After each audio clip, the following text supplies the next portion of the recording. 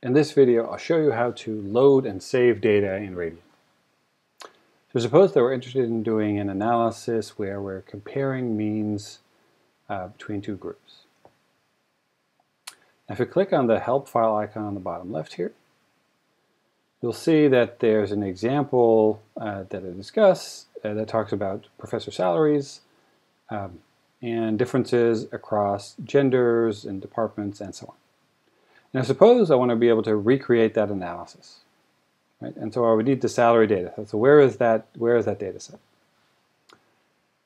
So if you look on the page, uh, it'll say analysis requires certain types of type of information. And if you want the example data set, go to data manage, select examples, load data of type, and then choose the salary data set. All right, so let's do that. Data, load data of type, examples, and load examples. All right, so now we're going to be looking for the salary. There we go. There's the salary data set. Right, so this is a drop down, but I can also uh, type the first few letters of the data set and it'll pop up. All right, so then I can go back to compare means. And let's say I wanted to see if uh, salaries are different across gender.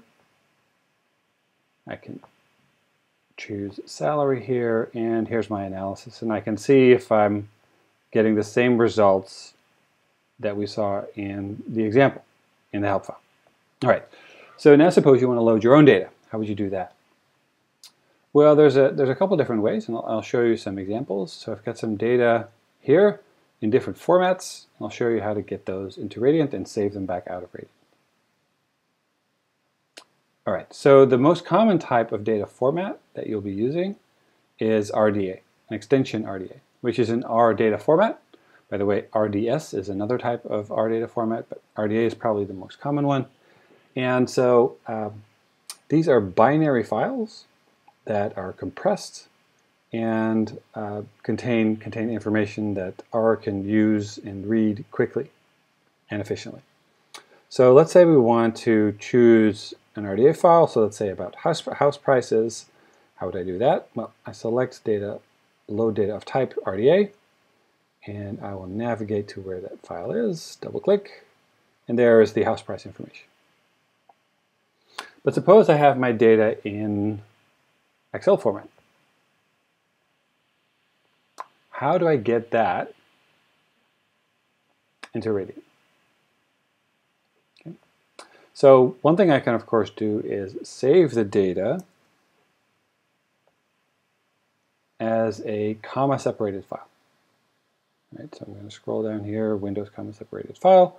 I can save that save the Excel file as a comma separated file and then go ahead and load that into Radiant by selecting CSV. Let's do that. Um, You'll see you can you can specify if you want if the data has a header, um, uh, if it's comma separated or semicolon separated, uh, if decimals are indicated by a period or a comma, and so on.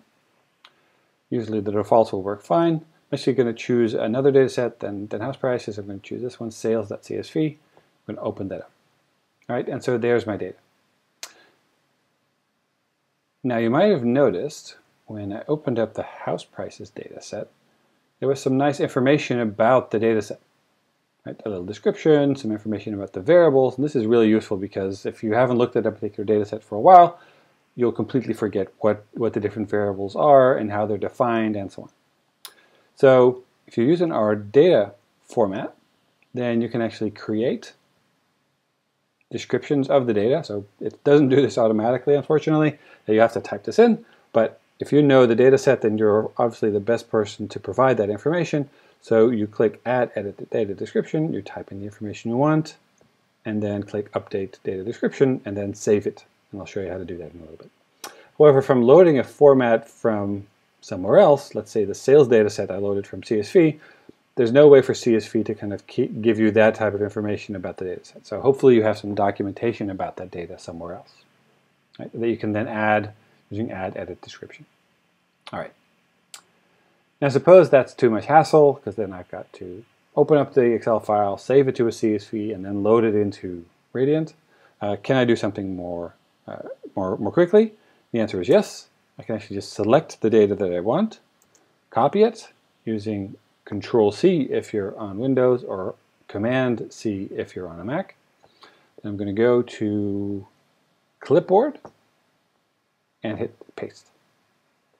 And there's the data directly from Excel into, um, into Radiant. Now you notice that it gives it this not very useful name, which is copy and paste. Right?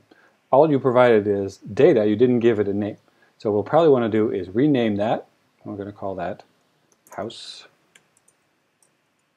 prices. All right, and hit rename, and there we go. And you'll notice that there's no data description here. We'll have to provide that on our own. Okay, now um, another thing that you'll likely want to do is save the data. So how do I do that? Very similarly, I choose the type of format that I want. So usually I'll, I'll choose an, an R data format, so RDA or, or maybe RDS, but most likely RDA, and just click Save and tell the browser where you want it to go. Right? I can also save it to a CSV in case I want it in that format. But what if I want, let's say, that sales data set that I had earlier, Suppose I want to take that to Excel for some reason. Well, I could go ahead and save it as a CSV and then open that up into Excel, but I could actually also use the clipboard for that here.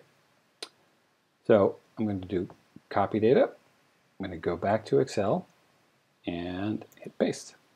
And there we go. Could do this with any of the data sets loaded. Uh, suppose I wanted that salary data set in Excel for some reason. There we go clipboard, copy data, and there it is. All right. Another type of file that you'll be loading and saving is a state file. So a state file is a, a file that has information about all the settings, reports, plots, and so on that you've been working on inside Radiant. So how do you save the state? just click on the floppy disk icon and hit save state and save it where you want. And um, how do I how do I load that back in? Well, one thing to keep in mind is as soon as I load a previous state file, what I'm working on now will be removed. Right? The only way it can recreate exactly the settings and everything that you were working on previously is to clean out what you what you have now. So the best way to do this is to click on the power icon and click New Session. So all my settings here are maintained. I'm now just in a clean new setting. And I'm going to load a state file into that. This is the one that I worked on previously. And as soon as I open that, it'll go back to the tab that I was in before, which was visualize. There's a plot, there's a filter, there's some settings, I added some color and so on. Right, all of that has been restored. Right, so this might be an assignment that I worked on previously or some report. I can learn uh, how I did, did things previously, whatever it may be, and then I can just go back to the session that I was working on. And when I'm done with that, I'll go back ahead and save the state so that I have a, a trail of exactly what I did. Or if I want to work with somebody else, then I can save the state, send it to them, they can load it into Radiant and continue working from there. Okay, I hope that gives you an idea of how to load and save information from and to Radiant.